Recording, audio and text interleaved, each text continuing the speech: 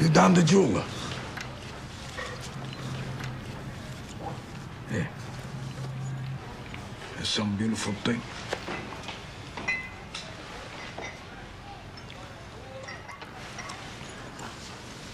Why don't you give it to your wife?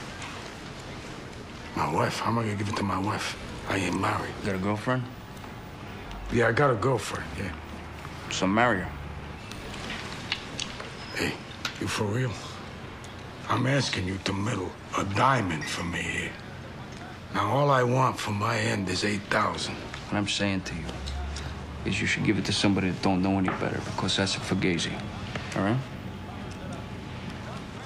That's a fugazi? How do you know it's a fugazi?